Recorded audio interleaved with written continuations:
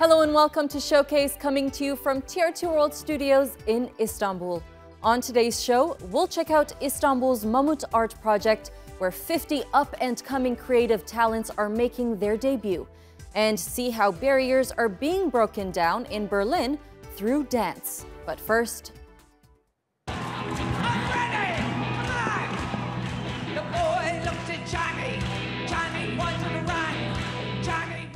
In Praise of Patti. A new documentary unveils the mystique behind one of rock and roll's most enduring icons. When Dali met Duchamp, two icons of 20th century art under one roof.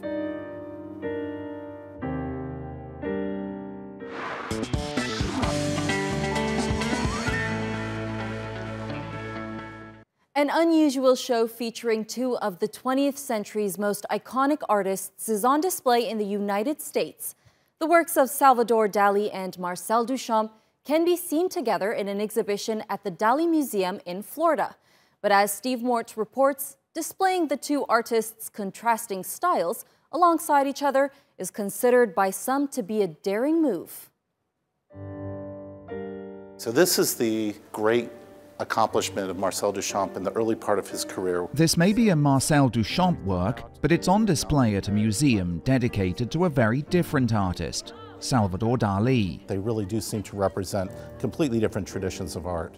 Marcel Duchamp, for a while, was associated with Neo-Impressionism leading into Cubism, and then at that very particular moment of uh, 1913, he moved on to challenge basic notions of what art is all about. Salvador Dali moved towards almost a Renaissance style of painting.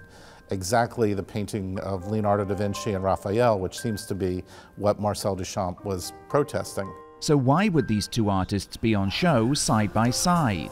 Despite very different artistic styles, Dali and Duchamp shared an enduring friendship, which curators here at the Dali Museum hope this exhibition will highlight. They both shared a passion for chess playing, and there's many moments in Dali's work where Marcel Duchamp is referenced, and there's some projects by Marcel Duchamp that seemingly involve Dali. So this exhibition brings these ideas together. Several examples of the relationship between Dali and Duchamp have been gathered from collections around the world. One of the key pieces by Marcel Duchamp is his LHOOQ with the Mona Lisa. Duchamp made several versions of LHOOQ, letters which, when pronounced in French, sound like a phrase meaning she has a hot bottom. What Marcel Duchamp did is he drew a goatee and a mustache, so it's very much a kind of schoolboy sort of prank against um, the tradition of art. And then we move into Salvador Dali.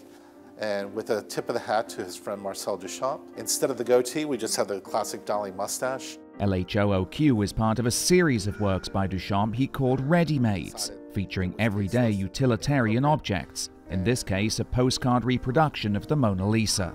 He took a, a, urinal, put it on its side, gave it a name, which was the fountain, and signed it. And in those three steps, he feels that this has constituted the art process. And then later in the 1930s, Dali responds to that. He starts creating his own objects, and one of his most successful is the lobster telephone. Famous works by both artists are part of this exhibition, including Duchamp's Large Glass and Dali's Christ of St. John of the Cross. In total, more than 60 pieces are on display here at the Dali Museum through the end of May. Steve Mort, TRT World, St. Petersburg, Florida. Joining me now from Lexington, Virginia, is art historian Elliot King. He has done extensive research on surrealism in the 20th century and is a leading expert on the work of Salvador Dali. Thank you so much for joining me today, Elliot.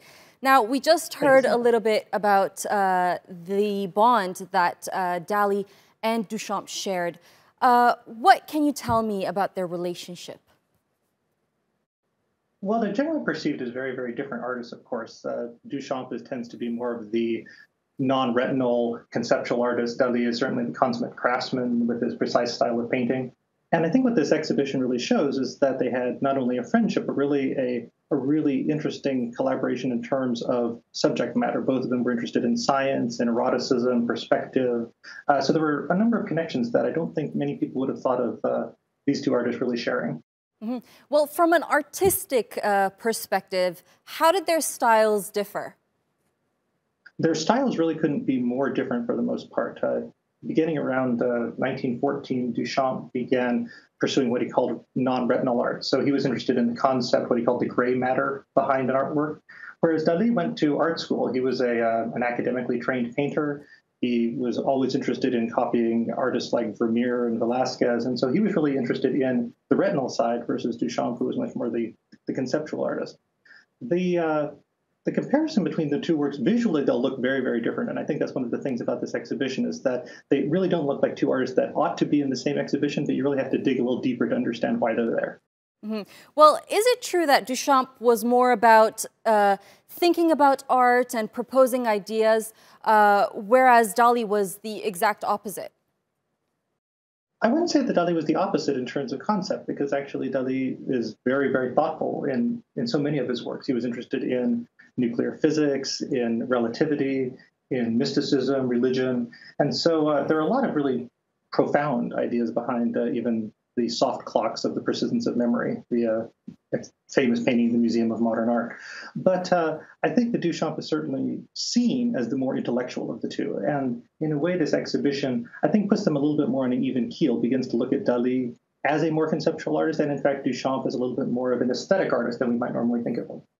Well, is there a specific example that you can give us of how uh, both the artists have influenced each other? Sure. Um, well, Duchamp's last work, actually, the Étant donnés that's in the Philadelphia Museum of Art, uh, it had been uncovered fairly recently that Dali actually helped him work on that. And that was a piece that was almost entirely done in secret. Duchamp didn't claim to do art basically after 1920. And so uh, Dali was probably one of the few people in the world who knew what Duchamp was actually doing.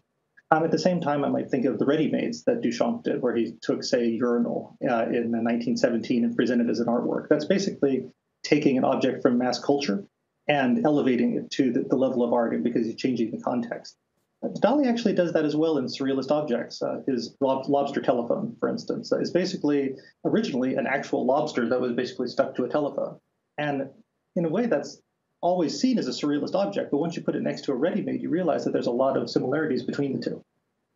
Well, why exactly uh, are these two artists still very relevant today?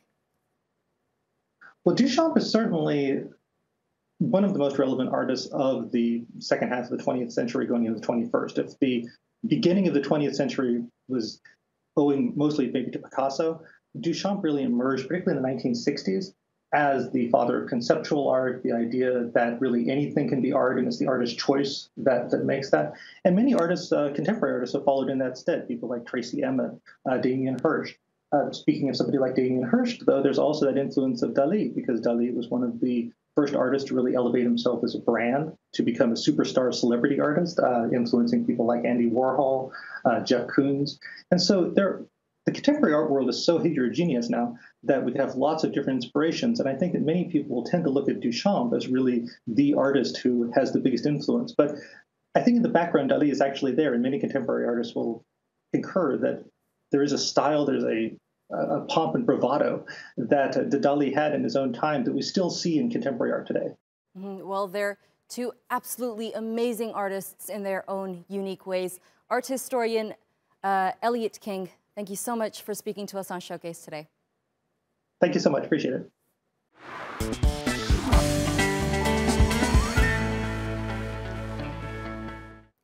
Singer, songwriter, poet Patti Smith is one of those performers who's almost impossible to put a label on. From punk rock to spoken word, her growly voice, gangly, gender neutral appearance, and razor sharp lyrics helped define a generation and changed the way women were expected to rock. And now, more than 40 years after her debut album, a documentary aims to capture the white hot heat of Smith's live performances.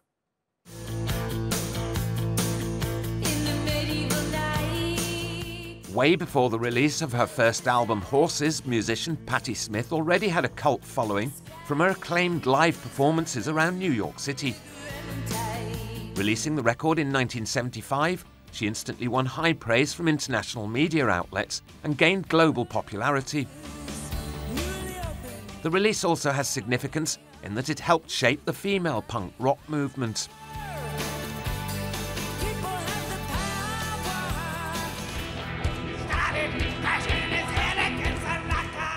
Upcoming documentary Horses, Patti Smith and her band aims to bring the raw power of the veteran performer's coming out record to the 21st century. It celebrates and captures the 40th anniversary tour, honouring her acclaimed debut. According to the director of the production, this documentation of Smith is essential viewing for fans. This is a, a strictly a concert film.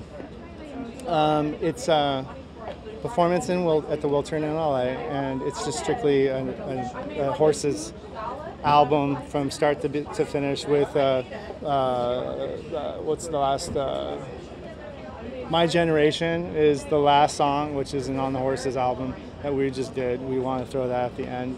Um, there's some uh, between some of the songs I, I, Patti and i sort of our intimate little moments and stuff that we put in the middle of each a little bit between a couple songs and you know but visually visually for me it's a stellar stellar performance The always self critical cult musician says she's happy with the result of her collaboration with filmmaker Sebring. I'm excited because it's just what we do. It's a, it's a, it's a very raw film, and um, I've worked with Stephen before. We did a, a, Dream of Life together, a documentary. So this is our second uh, uh, work together um, I'm happy with it. Happy to be here. It's uh, such a nice little film, and to have such a big honor for such, for our little film is wonderful. Anticipation of the release keeps building as word spreads that Horses, Patti Smith and her band will finally meet its audience in May.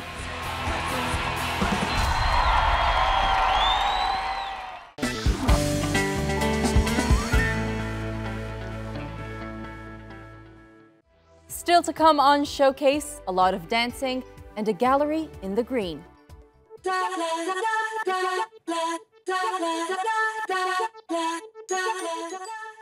From colorful creatures to lonely gas stations and hidden faces, the Mamut Art Project takes over Istanbul's Küçük Çiftlik Park.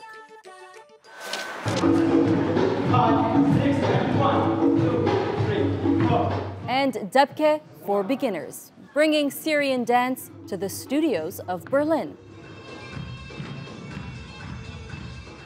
And now for a quick look at some other stories that have landed on Showcase's radar, beginning with how a famous Hollywood director is taking on Washington when it comes to its Middle East policy.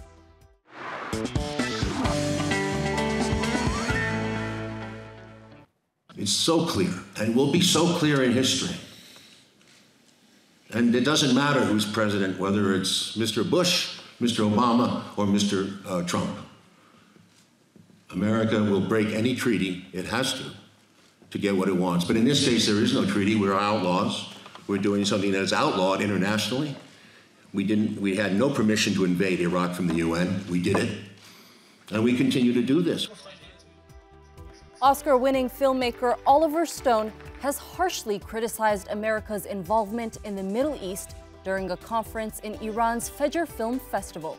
The director of the politically charged movies such as Nixon, Looking for Fidel, and Snowden commented on the war in Syria and accused France and the U.S. administration of colonialism and imperialism. Award winning director Quentin Tarantino and actor Leonardo DiCaprio have delivered new details about their upcoming film. Once Upon a Time in Hollywood is a crime thriller set during the Manson murders of the 1960s. This week at CinemaCon in Las Vegas, Tarantino announced that the new movie will be the closest to his 1994 cult classic, Pulp Fiction. Brad Pitt will be joining DiCaprio in the film, which will be released next summer.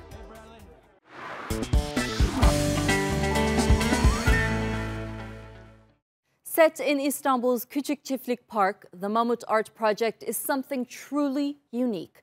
The entire event is dedicated to introducing talented emerging artists to collectors, curators, and galleries. And it's also introducing parties of school children to the wonder of art. Carrie Alexandra lets us know what to expect. 50 budding contemporary artists are showcasing their work in Istanbul this weekend. there are no restrictions on what the artist can submit. So the work on display is wonderfully varied and vibrant.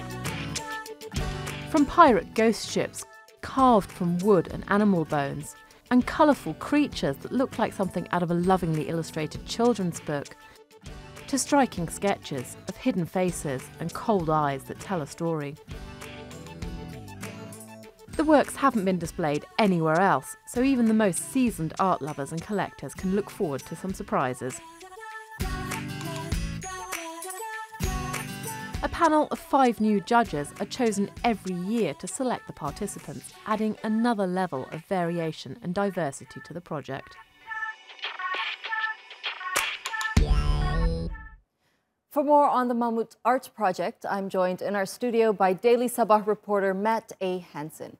He is an arts writer and culture journalist who has his reviews about the arts published in different parts of the world, including here in Istanbul and in the Middle East. Thank you so much for joining me today, Matt. Now, what are the different uh, kind of art genres that we can find at the Mamut Arts Project? You'll find uh, a, a, range, a great range, paintings, uh, installations, sculptures, uh, sketches, textile, uh, video art, animation, um, just about everything, I mean, possible. Contemporary, traditional. Yes, and, and, new takes on these uh, styles and mediums. Um, yes. Well, tell me a bit about the works of artists like Banu Ural, İlke Şahin, and Eda Er. Uh, Banu Ural is very interesting. She's uh, one of the older artists. Most of the artists were born in the 90s, very young. Um, and she has taken her heirloom uh, textiles from her family and she's sketched on them beautiful, uh, very sweet, innocent sketches. Uh, it's one uh, wonderful series that she's uh, been doing over the last year specifically for Mamut.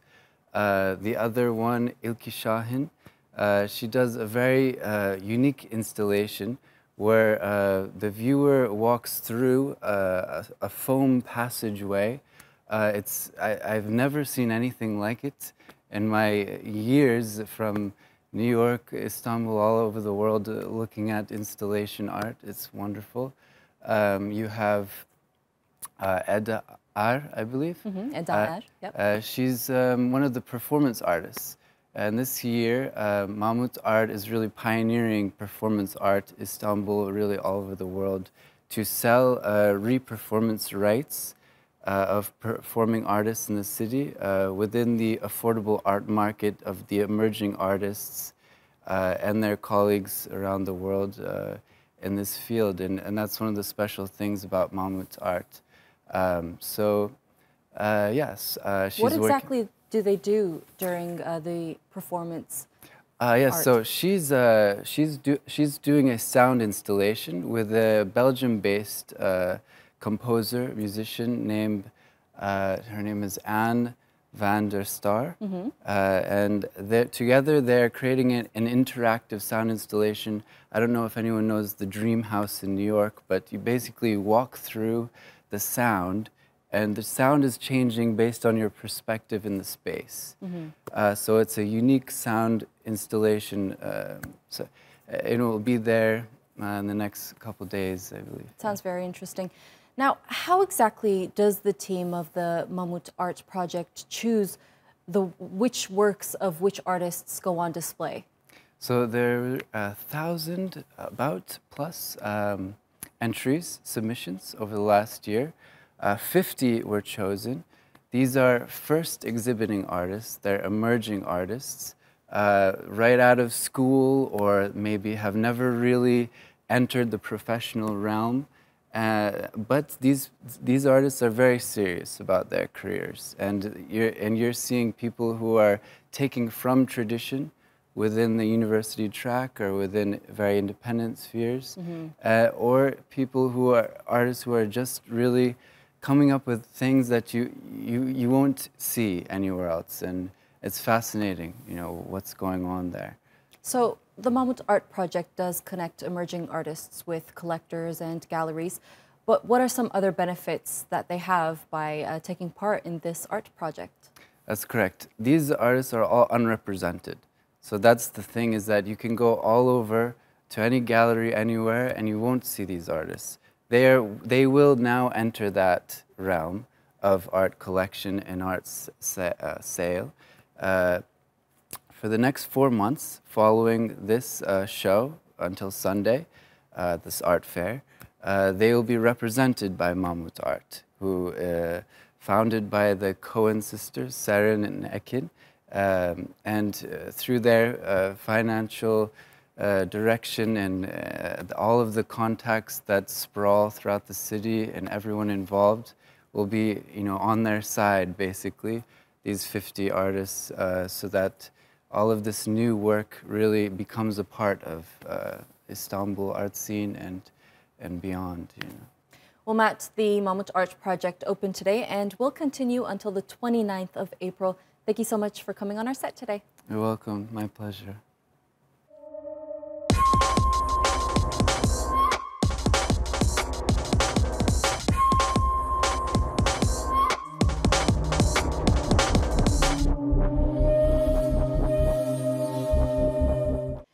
Fleeing war at home, arriving in a foreign country, and having to build an entirely new life. All of these things are far from easy. But for two Syrian men now living in Berlin, music and dance was their way of not only surviving, but thriving. This is their story.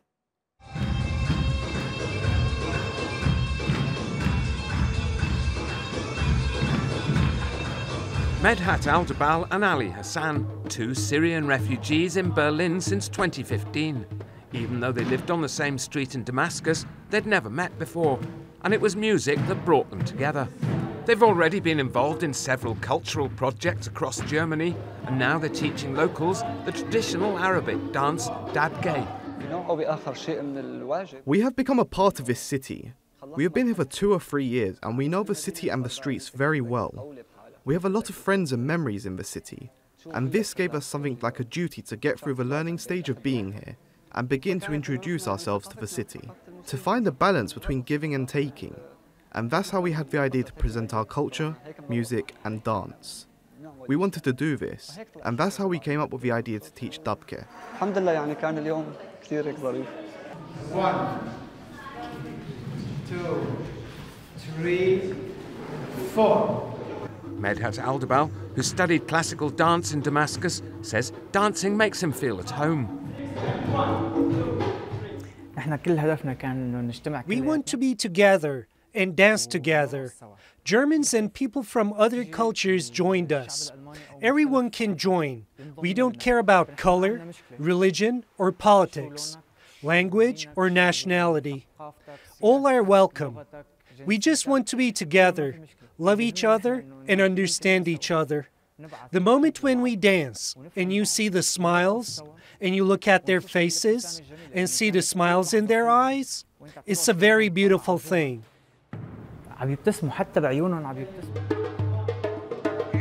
40 Berliners come together for this workshop, which is open free of charge to everyone. I loved it. um, I'm a dancer, actually, it's, it's uh, my profession. And I come from the folklore. Like the very first dance I made, uh, it was five years flamenco. And uh, this brings me back to my roots. This dance studio in Berlin not only offers plenty of moves and laughter, it's also breaking down barriers between locals and newcomers.